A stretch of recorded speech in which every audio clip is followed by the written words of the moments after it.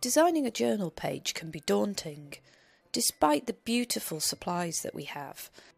And even when we have an idea, as a page evolves, it can sometimes just go wrong. So in this week's video, I'm sharing some tips for designing a page in this journal using papers and watercolour paint. And it's not that I have all the answers or that I even get it right every time. I just hope to encourage and inspire your own creativity, your junk journal pages, and your playtime with paint. And if you do have a passion for paper, for junk journals, then hit the subscribe button and ring the little notification bell because I have lots more videos and ideas to come. So I've chosen this page in the journal and with a fold out on the left there's plenty of scope for design. And indeed my first design tip is to get some colour on the page and just take away some of that white space. So I'm just mixing up some purple. It's a very weak wash from my White Nights palette. And I'm putting two colours on the page that are a real feature of my design. And really what I do from the beginning of a journal page is have a colour palette in mind, have an idea of two or three colours that I want to feature across the whole page. And as this design is inspired by a walk in the woods, I really want to put some of that fresh green on the page as well as the purple from the flower that I've been inspired by. I'm just taking a page out, and I know that some of you will be saying eek as I rip the page out of the book and here I'm just tearing out the flower to give it an interesting edge and just being quite careful to protect as much of the rest of the page as possible so that I can use that on another occasion. I reach for a mix of papers from my stash in a range of textures and patterns and colours but all within the same colour palette. The large piece of paper at the back has got a little bit of text on it and I like to include a bit of text in the design of a spread. So have a go at placing the focal point on your journaling page. It might work in a number of places, so have a think what suits you best. And here I'm just doing a little bit of layering. I'm just putting a darker shade of paper behind the flower to, to lift it and to make it pop a bit on the page and I don't like that little bit sticking out at the top so that just gets torn off. I'm sticking the papers down using a little glue stick. In the previous videos I was using liquid glue but I'm just trying a dry glue for a change to see how that goes. It would be great to know your top tips for doing a journaling page, so if you do have some ideas do drop a comment in the box down below.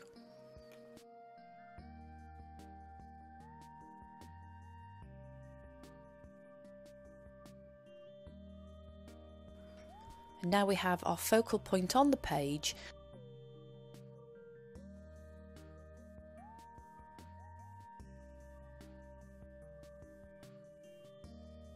and I'm just measuring up a piece to go on the left to cover up a little bit more of the white space. And this piece of paper has a creamy background which works really well with the other pieces of paper on the page.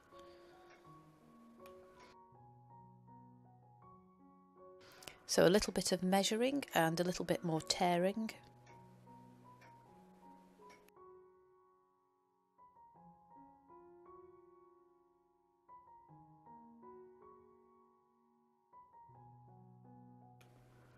And plenty of glue to keep it in place.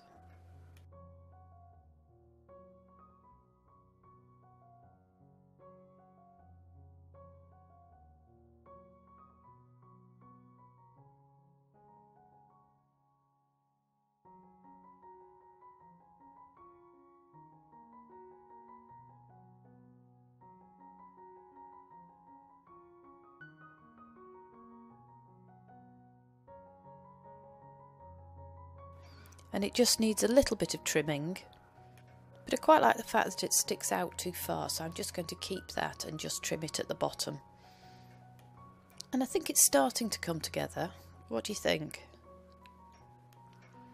One of the tips I have for designing a page is to think about the details, and the details can really make a difference, and rounding the corners is just a part of that.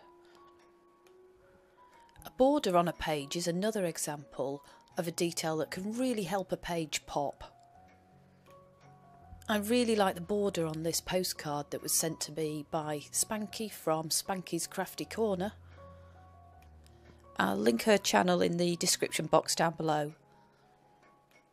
Spanky has a really fun and varied crafting channel, so do take a look and have a look at some of her videos. They are really, really fun. Junk journal pages are about having fun, so it's good that this border is drawn freehand and it doesn't matter if the lines are a little bit wiggly. In fact, the wiggles seem to add a little something. And because I want to keep to my palette of purples and greens, I'm going to be using this lovely little journaling card that came to me in a Happy Mail yesterday.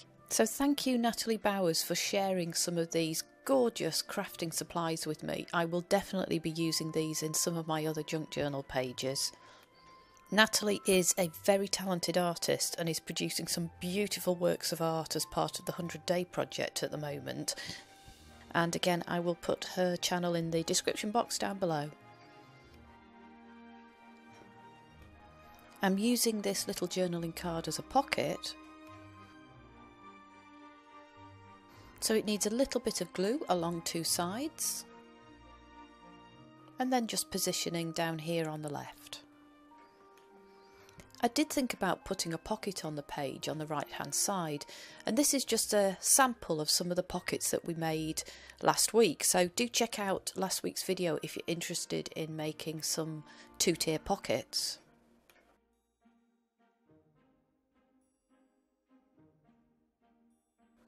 But I've decided a better design choice is a little envelope. So here I'm just choosing between some of the ones I've already made.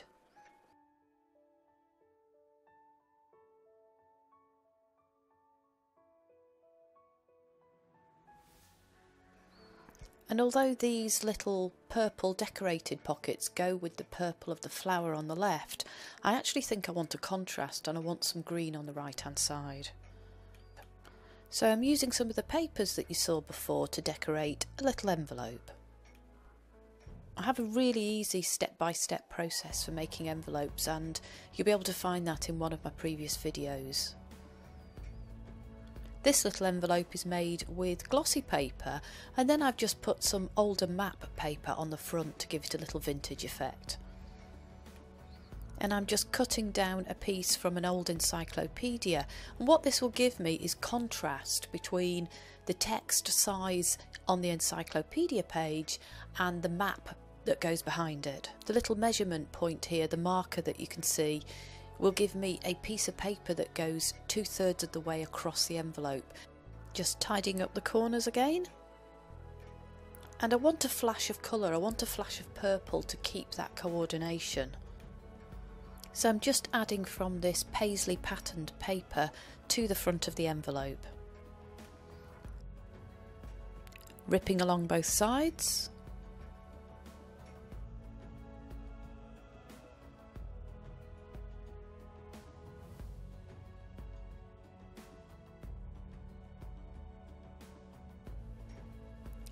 and placing it vertically on the envelope behind the little piece of encyclopedia paper.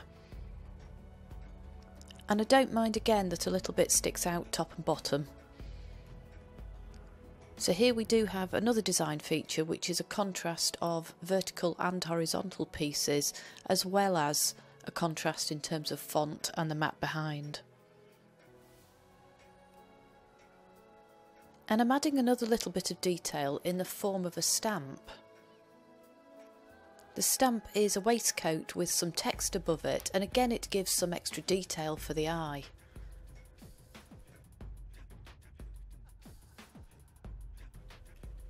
It's also one that's quite easy to paint which is a lot of fun. I've mixed a fresh green colour from the palette which goes with the sense that this is all about a walk in the woods, the sense of it being springtime. And if you're interested in another example of an envelope, check out 49 Dragonflies channel I will put a link in the description box down below. She's just done a fantastic video making an envelope and making it look really vintage and aged. And this time I'm adding a border with lines and dots, which just gives it a bit of a whimsical feel.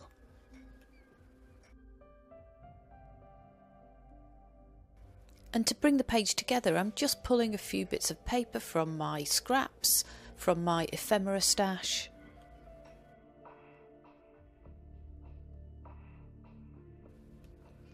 I made this tag and I've added a little organza ribbon and here's a little piece of music paper also done with a green colour wash.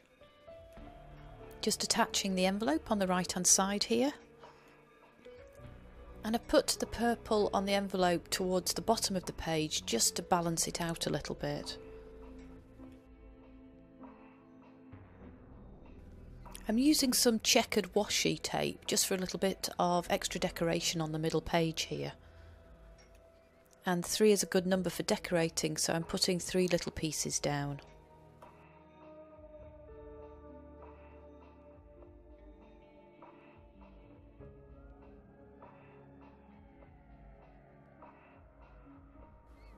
And as text works really well as a design feature, I've chosen a poem this week by William Blake called Wildflower's Song,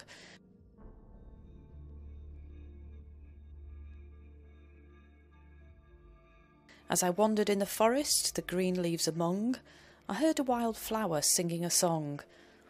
I slept on the earth in the silent night, I murmured my thought and I felt delight. In the morning I went, as rosy as morn, to seek for fresh joy, but I met with scorn. And I'm using a really strong, deep black pen here just to give it extra emphasis on the page. And as you can see, I've put some faux stitching around the border and I'm just tucking that into the pocket.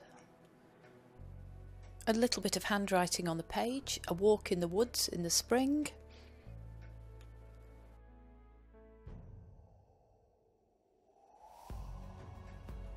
And a few little dots distributed over the page to finish it off.